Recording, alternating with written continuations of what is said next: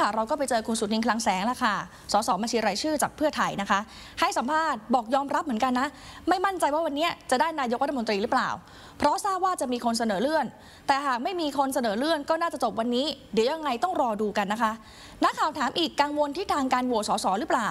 คุณสุทินบอกไม่กังวลนะ เข้าใจธรรมชาติของสว ว่ามีที่มาและก็มีความเห็นที่มันหลากหลายต่างกันออกไป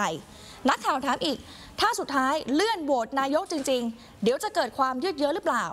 คุณสุทินบอกว่ายืดเยื้อแน่นอน เพราะถ้าเลื่อนเนี่ยไม่รู้จะเลื่อนไปถึงไหนเลื่อนถึงวันไหน หากบอกว่าเลื่อน เพราะรอฟังคำวินิจฉัยของศาลก็ไม่รู้ว่าศาลท่านจะตัดสินเมื่อไหร่ด้วย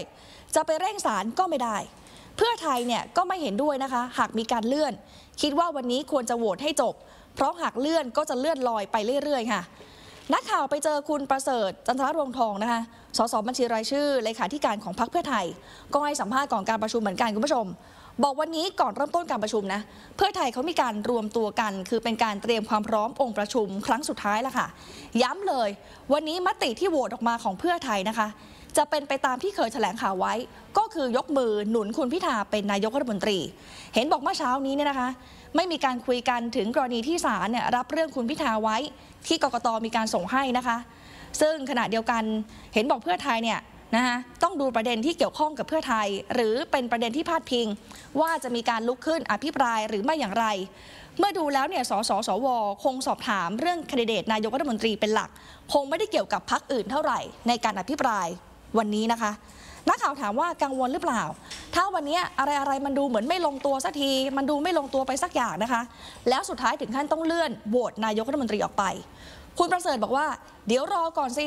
รอดูผลการประชุมวันนี้จะออกมาเป็นอย่างไร ยังไม่อยากคิดว่าอะไรจะเกิดขึ้น แล้วค่อยคิดขั้นต่อไปจะดีกว่าฮะโอ้ยังเดือดกันอยู่เลยนะครับท่านผู้ชมครับแล้ว ในการอภิปรายนะครับ4บวก2หลายคนก็บอกโอ้โหคือตอนแรกเนี่ยจะคุยกันว่าเอ๊ะคุณพิธาจะได้อภิปรายไหมอ่าหมายถึงว่าได้นำเสนอวิสัยทัศน์ไหมแต่ตอนนี้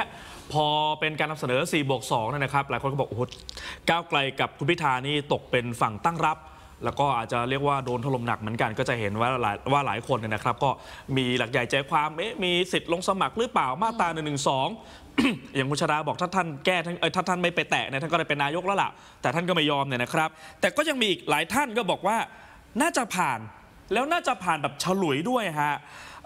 พักเป็นธรรมคุณกนวีสืบแสงนะครับบัญชีรายชื่อก็มาประชุมด้วย วันนี้หลายคนบอกไปคุณกนวีนะอยู่พักเป็นธรรมแต่เนกไทเนี่ยสีส้มมาเลยครับค่ะบอกว่าให้กำลังใจคุณพิธานะครับ แล้วก็เป็นการแสดงเชิงสัญญาจุดยืน8พักอันนี้เนี่ยฮะไทยเนี่ยสีส้มมาเลยนะ แล้วก็เป็นการดูแลจุดยืน8พักร่วมกับชนมติประชาชน ว่าการเลือกนายกจะเป็นยังไง เป็นธรรมเนี่ยมีคุณกนวีสืบแสงเสียงเดียวนะ แต่เขาบอกเป็นเสียงเนี่ยเสียงหนึ่งเสียงแต่จะเป็นเสียงศักดิ์สิทธิ์แสดงให้ประชาชนเห็นว่า ความจริงมันควรเป็นแบบไหนนะครับ ส่วนความมั่นใจโหวตเลือกนายกนะเขาบอกว่าถึงจะเสียงเดียวแต่ก็มั่นใจว่าจะผ่านไปได้อ่าก็เดี๋ยวค่อยว่ากันฮะ อันนี้ยังอยู่ในช่วงของการพิปราย แล้วก็อย่างที่บอกว่าเวลาการพิปรายมันเยอะมากท่านผู้ชม กว่าจะได้เริ่มโหวตก็น่าจะนู่นอะเย็นๆ แต่ผมบอกแล้วว่าไอตอนโหวตเนี่ยโอ้มาขานชื่อกัน 750 คนใช้เวลานาน แต่ที่จะเดือดกันจริง ๆ ก็ตอนนี้แหละฮะตอนนี้ค่ะโอ้โหเล่นกันเยอะเลยว่าจะเป็นเรื่องแบบไหนอย่างไรแล้วอย่าลืมนะเลยว่าอะไรอีกเยอะมากแล้วก็ขอโทษนะฮะอ่าว่าที่ดาวสภาใช้ศัพท์รุ่นใหม่กับตัวตึงอีกหลายท่านนี่ยังไม่ได้ขึ้นพิปรายเลยนะ